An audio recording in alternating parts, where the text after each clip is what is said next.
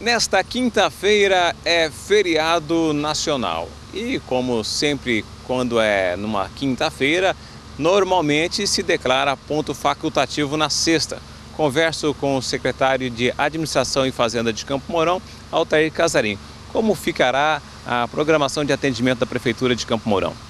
Bom, nós, por ser feriado eh, nacional, na quinta-feira, nós já baixamos um decreto também decretando ponto facultativo na sexta, em função de nós eh, estarmos assim, eh, em, fazermos economia até no, no, dia a dia, porque os municípios todos estão atravessando por grandes dificuldades.